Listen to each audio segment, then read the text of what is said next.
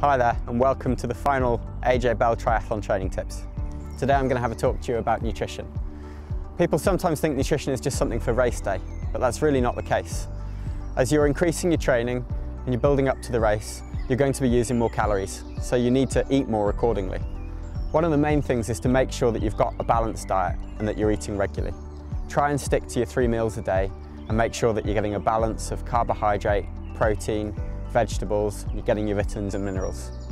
As you're getting closer to the race, say two days beforehand, you need to make sure that you're getting a little bit extra carbohydrate in.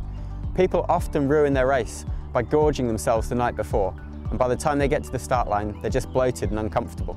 It's a surefire way of ending up stuck in a portaloo halfway around the run.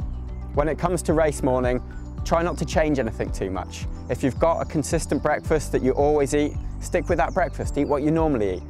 I always have a bit of yoghurt and some toast for breakfast. I don't change things on race morning.